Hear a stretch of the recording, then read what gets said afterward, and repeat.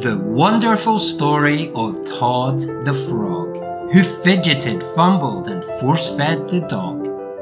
Every morning when Todd woke up, he danced with delight, then dangled the tripe.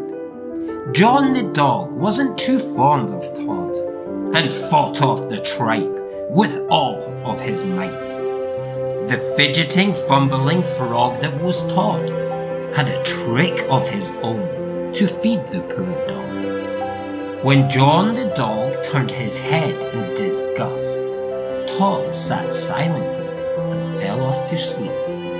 All of a sudden, John let out a yawn and closed his eyes, completely nonplussed. Before John's mouth had time to close, Todd threw the tripe and it dropped on his nose.